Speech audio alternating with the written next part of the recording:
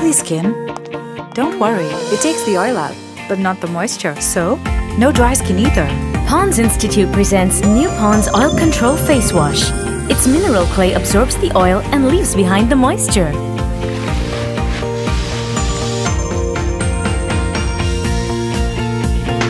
New Pond's Oil Control Face Wash kicks the oil out, keeps the moisture in.